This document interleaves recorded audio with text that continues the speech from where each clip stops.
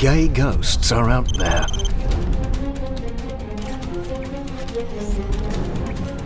I found at least 60 cases, and there was a lot more.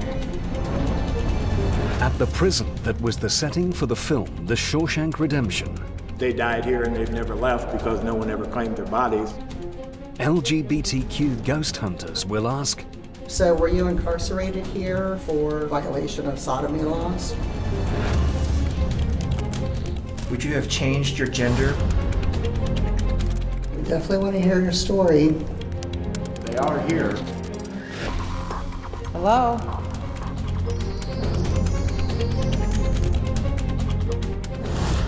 queer ghosts who are drawn to lipstick and junk food.